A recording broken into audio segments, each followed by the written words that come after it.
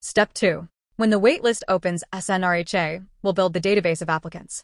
After the waitlist closes, SNRHA will select applicants from the waiting list based on date and time.